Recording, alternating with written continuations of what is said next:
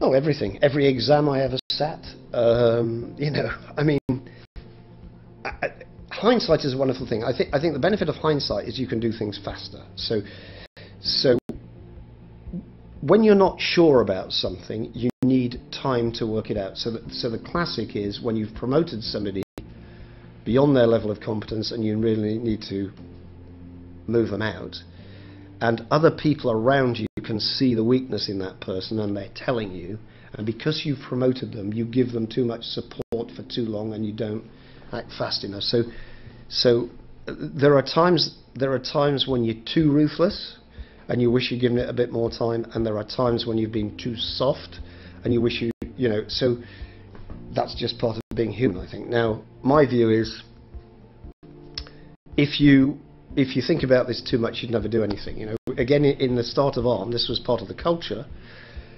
In the performance appraisal, we'll say, "What mistakes have you made?" And some people say, "I haven't made any." So we'd say, "You're not trying hard enough, then," because we learn through mistakes. And I think that is another. I would say naturally, in terms of our culture in the UK, the Brits are more scared to make mistakes and probably less honest about admitting they've made them. But I, I don't have that problem. I learned how to make mistakes. The Americans taught me how to make all my mistakes, and I do it with vengeance now.